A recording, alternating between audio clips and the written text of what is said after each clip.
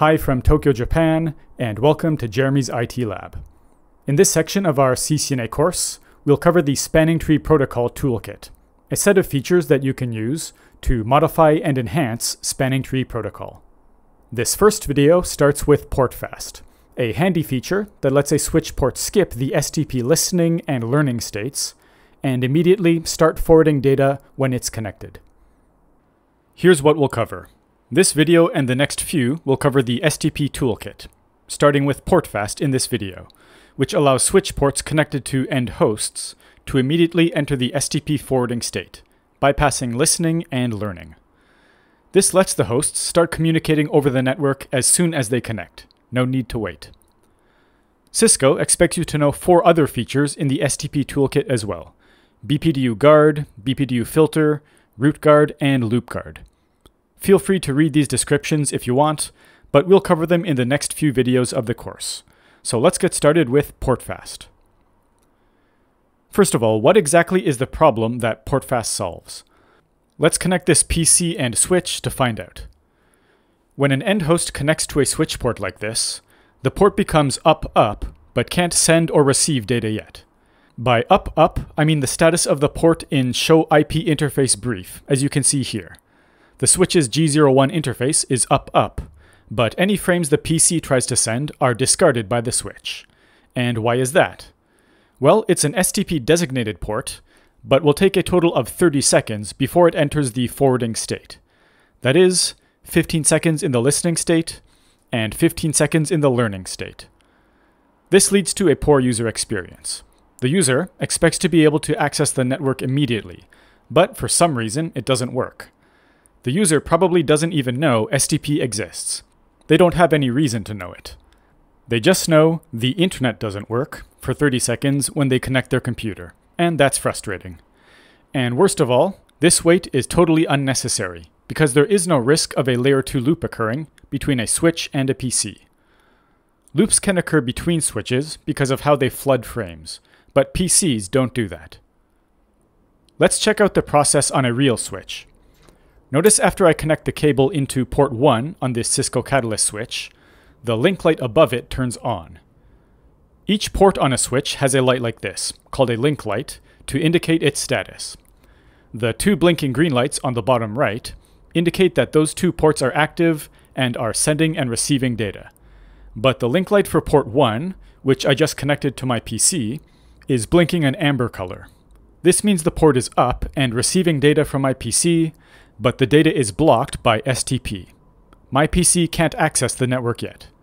Finally, after 30 seconds, the light turns green, meaning it is in the forwarding state and is ready to send and receive data.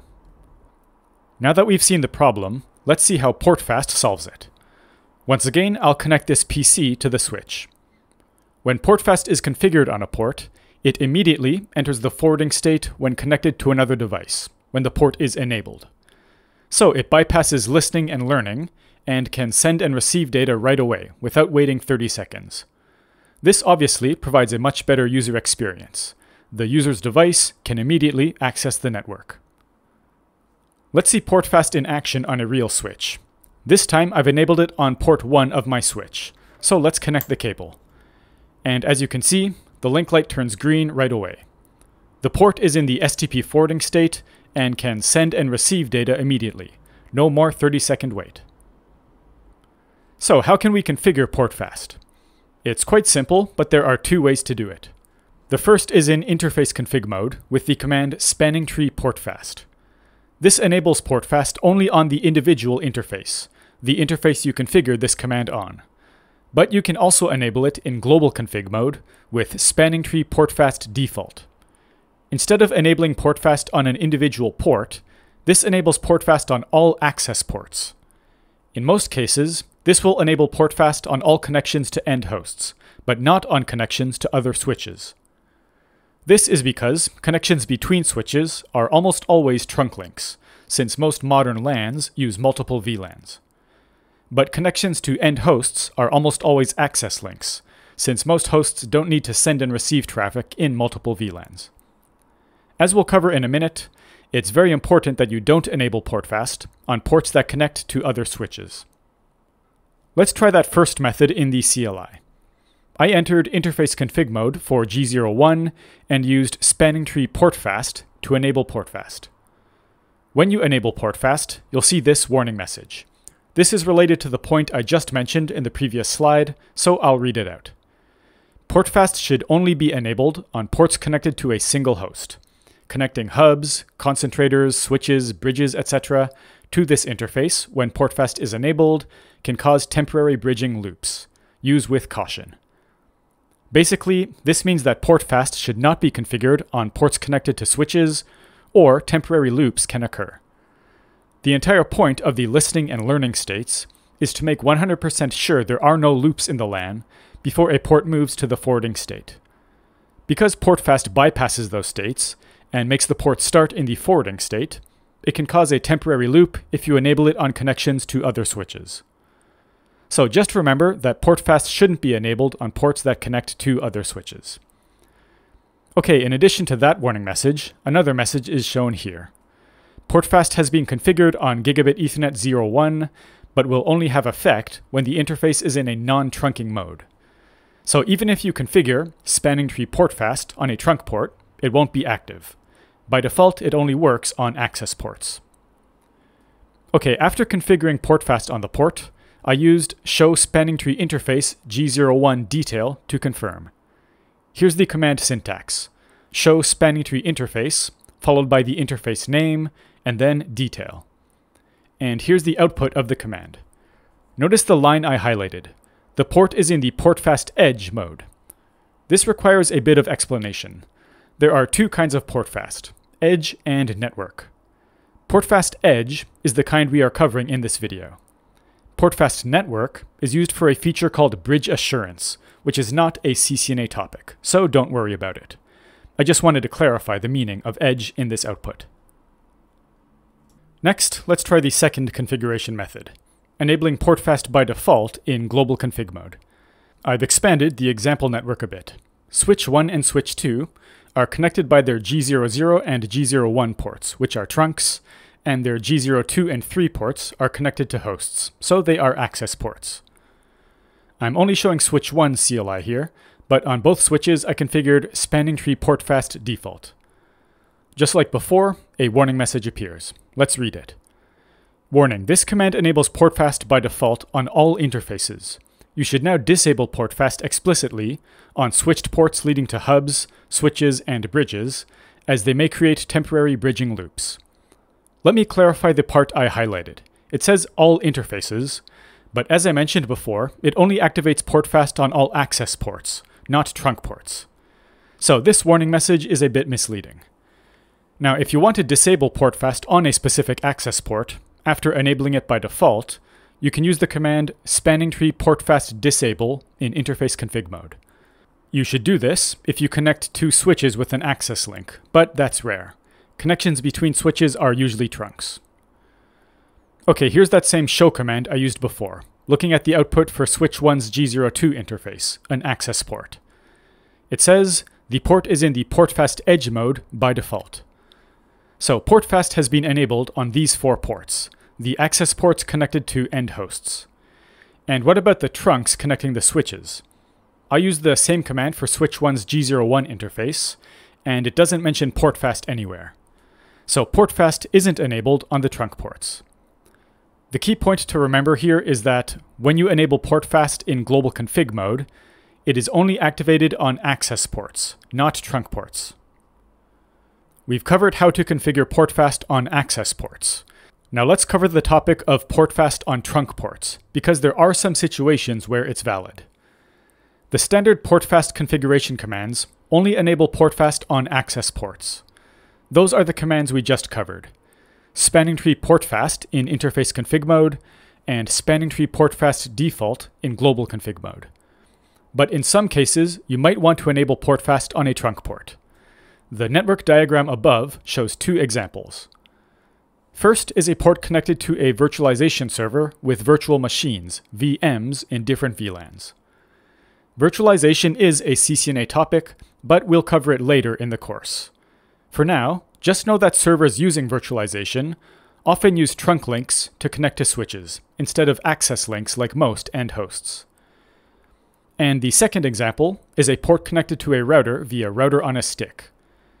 As we covered in the VLAN section of the course, router on a stick is basically a trunk link between a switch and a router. A router doesn't flood frames like a switch, and it won't cause layer 2 loops. So you can configure portfast on interfaces connected to a router like this. So how do we actually configure portfast on a trunk? It can only be configured per port in interface config mode. The command is spanning tree portfast trunk. Let's see an example in the CLI.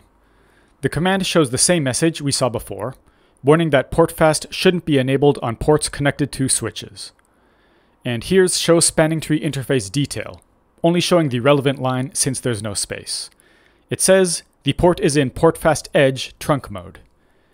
In most CCNA scenarios, you will only need to enable portfast on access ports, but just keep in mind that it can also be enabled on trunk ports. Finally, before we finish up, I want to briefly clarify portfast edge, which I mentioned earlier. To review, there are two portfast modes, portfast edge and portfast network. Portfast network isn't a CCNA topic, so we're covering portfast edge only. In modern Cisco switches, if you use the commands covered in this lecture, the device will automatically add the edge keyword to the configuration. So, for example, if you configure spanning tree portfast on a port, in the running config, it will become spanning tree portfast edge. If you configure spanning tree portfast trunk, it will become spanning tree portfast edge trunk.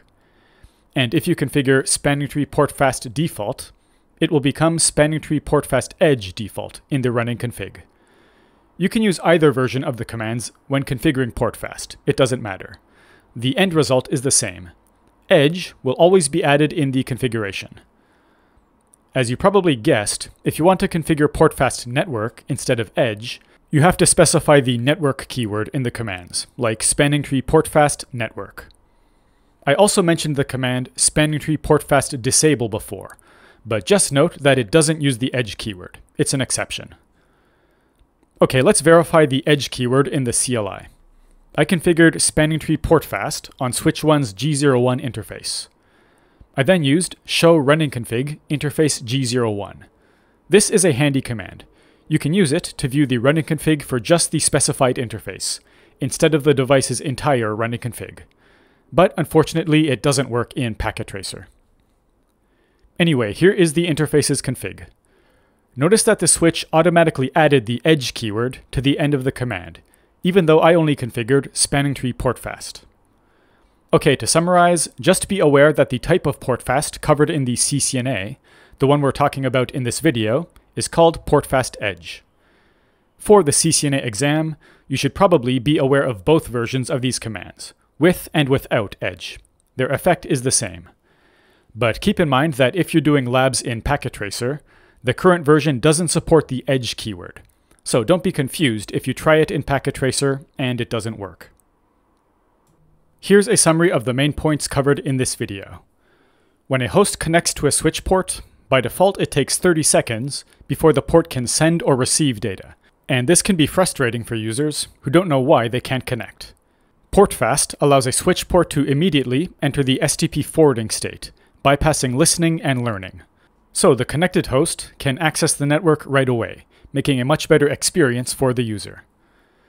Portfast can be configured in two ways.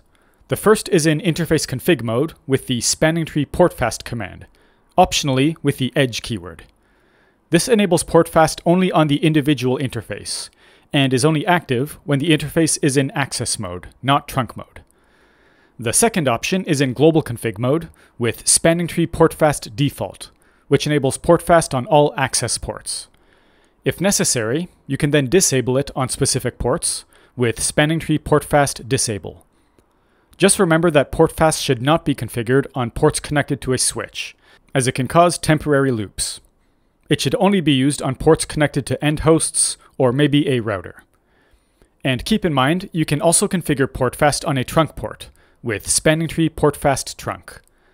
This can be useful for router on a stick or when connecting to a virtualization server with VMs in different VLANs. And that's all for this video about Portfast. I hope it was helpful. Thanks for watching. Before finishing this video, let me thank my JCNP level channel members who support me through YouTube channel membership. To become a member, please click the join button under the video. Thanks to Jonathan Makara, Velva Jacob, George, Nasir Chowdhury, Gustavo Macedo, Marcel Lord, Dragos Hernea, Zakib Shah, Mayor Salman, Vitaus194, Mark Jackson, Bold1C1U, Gerald Guillaume, Fristas1207, Hector Hernandez, Arpad Conives, 5 Feet, Owad, Daniel Brown, Jose Alvarez, Hussein Yavuz, Samuel Tavares, Roger Bratseth, Kevin Hayes, Brian Grant, Georgi Gemejev, Cats for Life, Adelson Pereira, Farad69, Madmark50484, Alexandru Stratan, Hiago Bicalho, DMJ2, Lucian Stoichitoyu, Kurt Nell, Steve Cox, Jasper Yim, Pedro Hartman, Tricky Mickey 123456, Ivano Capuano, Jefferson Steelflex, Toxic, Wilmer Romero, Sinan Sarisinar, Daniel Andrade, Dragos George, Jairo Francisco, Philip Jovanovic, Trevor Goldman, Sunny Idigu, Jeffrey C., Edificaire, Dimitrolis, Mikhail Chapsky, Hemanth Jabalpuri, Darius D., Faris Al-Zaharani, Juan Morales, Gonzalo Nicolas, Doomed Soul, Christine Schubert, Julio Maya, Egraso, Komlan Kapedemi, Hashem Rodef, Anand Abiankar, Adekola Ismail Salami, Clyde Mkorobindo, Orlando Flores, Adrian Martinez, Prashanth M, GG7, Rohan Surti, Tobe Hedin, Arturo Ray Mejia, Vic, MDS Electronarzedja, Raymond Kirby, G. Gant, Henrietta Sauer, Yusuf Tasseten, and Pablo Gauto. Sorry if I pronounced your name incorrectly, but thank you so much for your support. Thanks to you and my other supporters, I am able to make these videos and release them for free on YouTube, so I really appreciate the support. Another great way to support the channel is to like the video, leave a comment, subscribe, and most importantly, share this video with others. So if this video was helpful, I'd appreciate it if you did any of those. Thanks for watching.